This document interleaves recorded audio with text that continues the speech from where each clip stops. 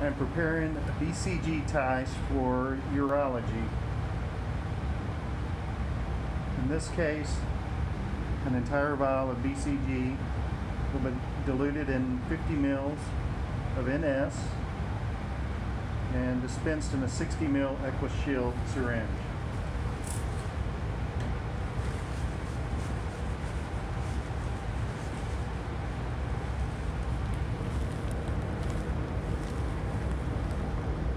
First step will be to draw approximately 5 mils of NS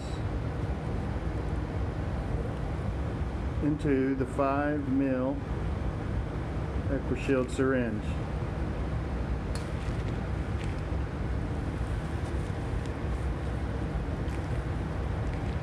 Next, connect the Equashield syringe to the BCG vial. Inject 1 mil of the NS and agitate the vial gently while still connected to the Equashield syringe.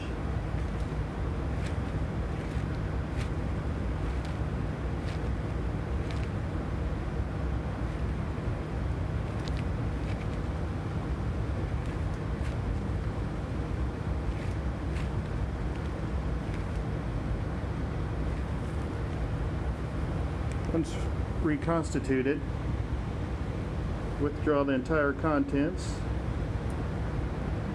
into the Equashield syringe.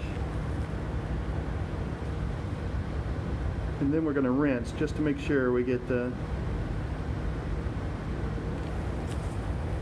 as much of the BCG out as we can.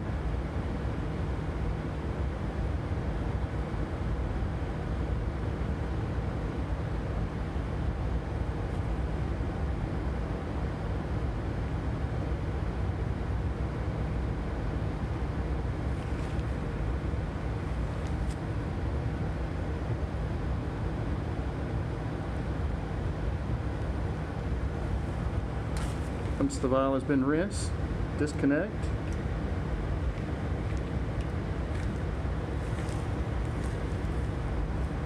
We're going to take the 5 mils of reconstituted BCG and inject it into the 50 mil NS vial. And again, I want to rinse my syringe make sure that we're getting most of the BCG out. The 5 mil syringe can be discarded at this time.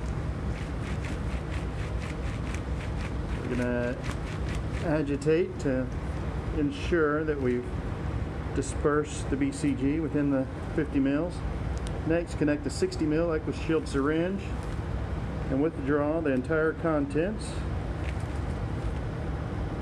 of the BCG and the 50 mils of NS into the Equashield 60 mil syringe.